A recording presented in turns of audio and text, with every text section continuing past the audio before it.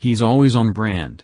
Michael Phelps posts a tender Instagram love note to fiancée Nicole, and it's sponsored by Omega Watches. Phelps said he can't wait for a next chapter of his life with Nicole and post.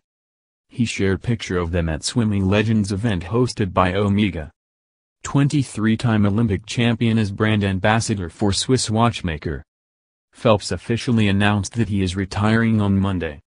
Michael Phelps said that he can't wait for the next chapter of his life with fiancée Nicole Johnson in a sweet Instagram post showing the pair together. But he made sure to stay on brand by uploading a picture of them together at the Swimming Legends event hosted by Omega in Rio on Monday.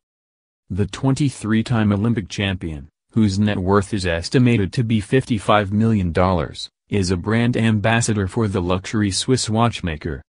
Phelps, 31, posted the picture with the caption, I love spending time together with you. Thank you for everything. Can't wait for the next chapter in our life to begin.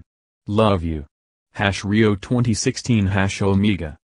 Phelps officially announced on Monday that he is retiring to focus on building a family with Johnson, 31, and their three-month-old baby Boomer, who watched his father take home five golds and one silver from the stands.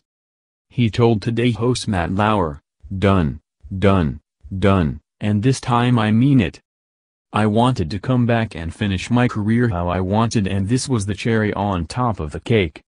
This is the part of my life where I get to start a whole new chapter, which is getting to build a family with Nicole.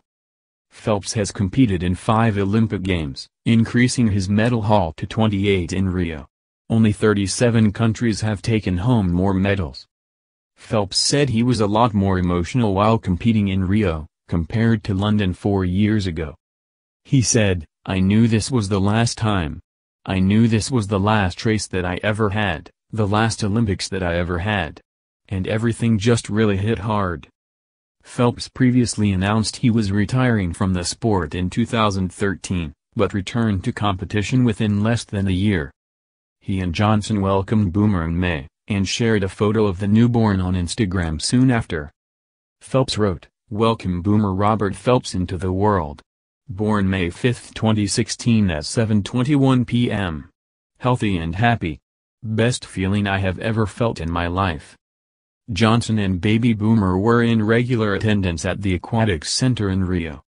Both Phelps and Johnson have been posting photos of Boomer on Instagram every few days since he was born, with the swimmer commenting on multiple occasions that having a son has made him the happiest person in the world. Phelps has spent most of Boomer's first months away from home however while training for the Olympics.